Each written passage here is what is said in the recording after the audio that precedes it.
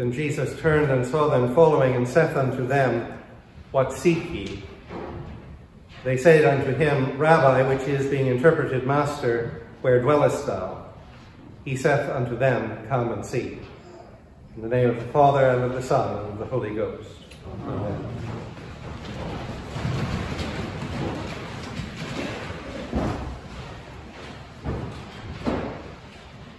The Church's proclamation for setting before us of the truth in a form that we can grasp begins where we all begin.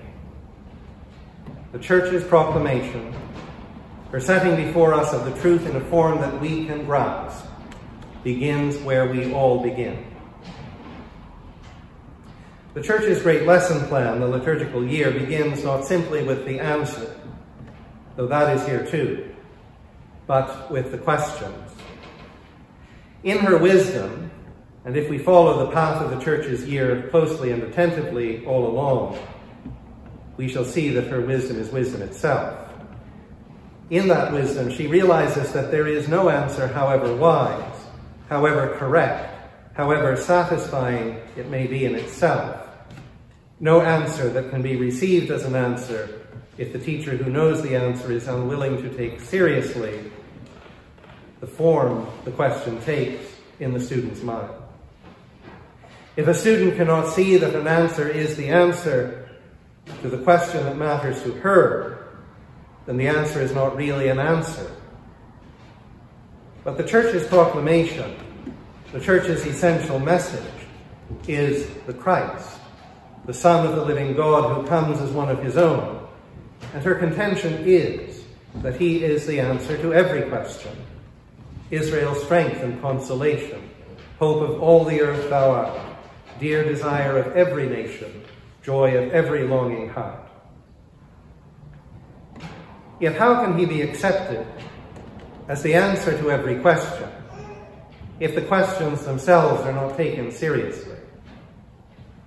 Too often our proclamation, ours, let me stress, not the church's, our proclamation takes the form of an all-encompassing statement that the so-called true believer is expected to apply to every situation. Jesus loves me, this I know, for the Bible tells me so.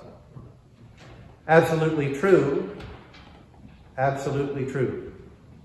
But how useful is it really taken on its own if we don't even know who the me is, or who Jesus is, or what the love is that I need at this moment, or how he offers that love to me. Or it takes the form of a question that begs the question, have you accepted Jesus Christ as your personal Savior? How can someone answer that question if they have no idea what the state of salvation is that such a Savior would bring, or what the word personal could possibly mean in this statement? This may be an important question to answer at some point, but it's not, for most of us, the first question. And so the church's proclamation doesn't begin with it. Her proclamation begins with more fundamental questions. Our gospel this morning shows us precisely the centrality of our questions in our conversion. And it's all important to realize that this gospel is set before us precisely as we prepare for Advent next week, as we prepare for the church's season of longing, of examining our desires and our questions. And precisely because Advent is a season of examining our questions and of waiting upon our Lord to answer them, this morning I want us to make a meditation on our gospel because that exercise of meditation, that sitting in the presence of our Lord, of following his every word, following his every silence, action, inaction, or and of letting him teach us both ourselves and our questions, and just how he is both the desire of our heart at this moment and the answer to just this question because meditation is all about. it is the one chief spiritual discipline by which we discover both Jesus in ourselves and ourselves in him. Reading, says one medieval author, presents the truth to us, but meditation chops it up, chews it, and ruminates upon it, making of it a kind of broth for the nourishment of the soul. Well, we've had some chilly mornings this past week, so perhaps a draught of warm soup will help us. So let's see where it takes us. We begin in the Judean desert with John the Baptist and two of his disciples, which is to say, two of his students. The Greek word is the same. So we are at school. Yet we're not told the content of the lesson. We have no idea what John has been teaching, no idea what questions his students might have had or put to him, no idea what answers John may have been giving them. All we know is John's proclamation concerning our Lord, Behold the Lamb of God. And we know that in some sense this statement must be the answer to a question, must have been an answer to their question, because the disciples immediately follow him. Jesus is walking. He's about his business. Yet we're not told what that business is, where he's coming from, or where he's going. So why include all this detail? Or this rather, this one detail that he's walking, but not flesh it out? Well, in the first instance, it puts us in the place of the disciples. They have no idea what his business is where he has come from or where he's going. Yet that he is walking, that he is about his business, is significant. How is it that ye saw me? He was asked of his mother in Jerusalem. He asked his mother in Jerusalem. Wist ye not that I must be about my father's business? And they understood not the saying. But his mother kept all these sayings in her heart, that is to say, she meditated upon them.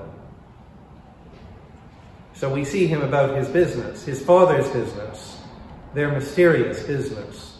We're not told what that business is, so we keep it in our hearts and we move on. Then Jesus turned and saw them following and said unto them, What seek ye? So suddenly the disciples are Jesus' business he turns his full attention upon them. And he asks them a question. What seek ye?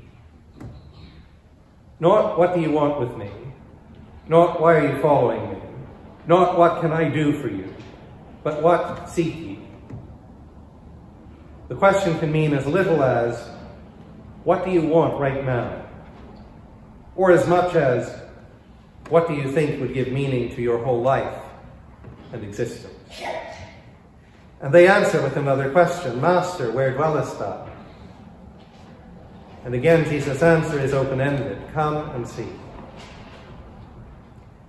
Now, our gospel this morning seems very straightforward, yet at the beginning of the Christian year, it raises again certain questions, or rather, it forces us to ask again certain questions, both of the church's proclamation and of ourselves.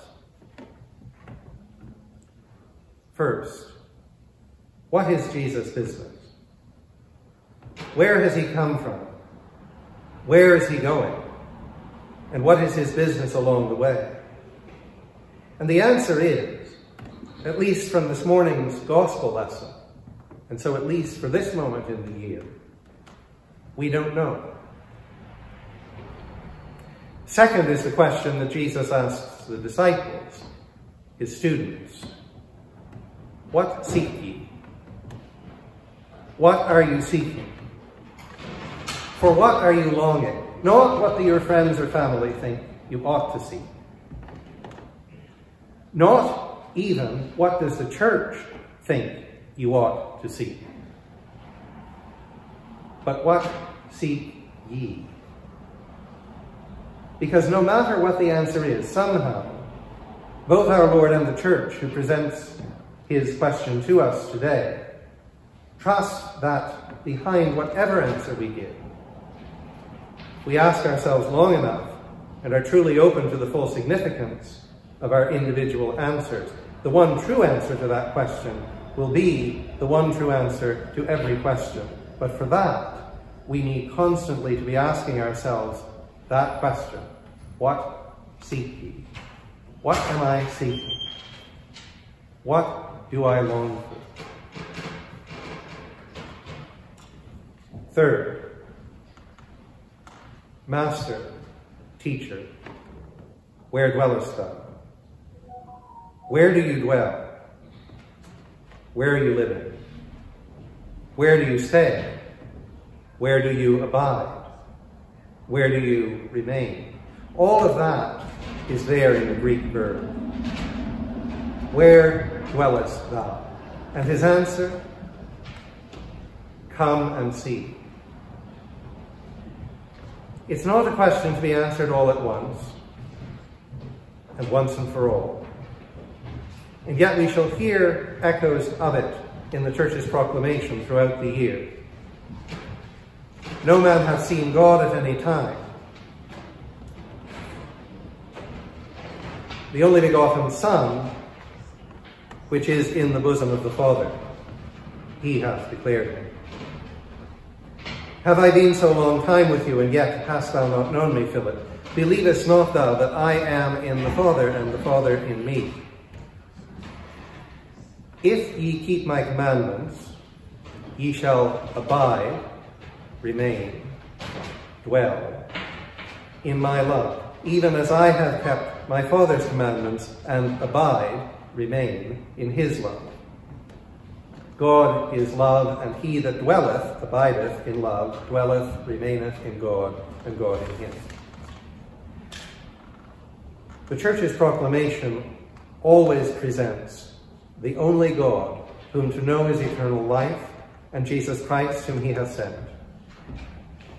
But the Church's liturgical proclamation begins by setting us back to ourselves, by telling us to take seriously our own questions, our own desires, in the sure and certain belief that as we examine them in the light of that proclamation, we shall see that there is only one answer only one thing that we desire the love that moves the sun and the other stars. But we can only begin to see that answer emerge if we accept her invitation to come and to see. We now see it best in a glass, darkly.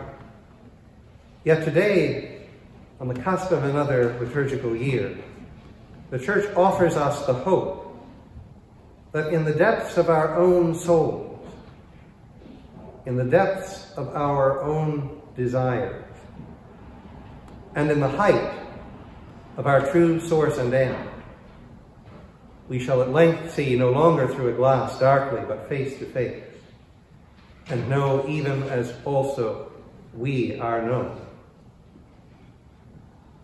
So come and see. In the name of the Father, and of the Son, and of the Holy Ghost. Amen.